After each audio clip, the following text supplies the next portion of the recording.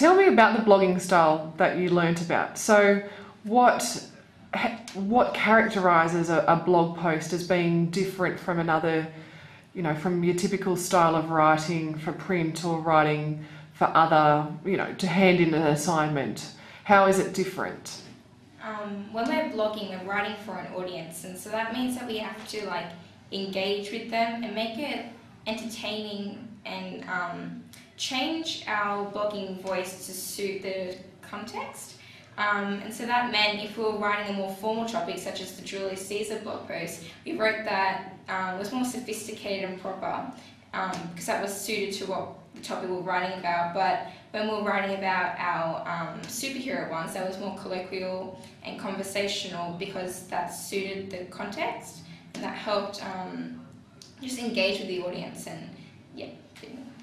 Has it had an impact on your confidence in your writing ability or Yeah. what Yeah. your thinking or I, I feel like I was so stiff before blogging. Blogging, like I, I feel like the way I like answered the questions we were given, or like and wrote about them and discussed them, I was.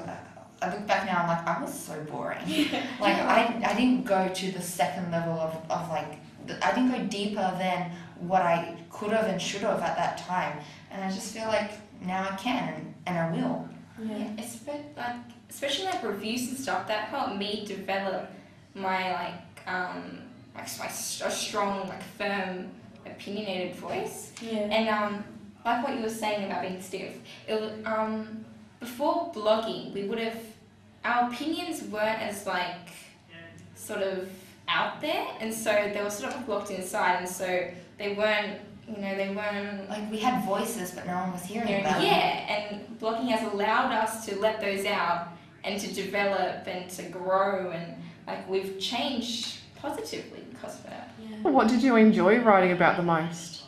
Definitely Julius Caesar, and I, I, I don't know why I liked that one so much. I just basically did, and I liked how we had, I guess, so much freedom in the topic as compared to the advertising post, where we just basically had to deconstruct the advertisement. But where, as in the Julius Caesar post, we could just basically pick what we liked about it and write until our fingers hurt. Like I really, really enjoyed that post.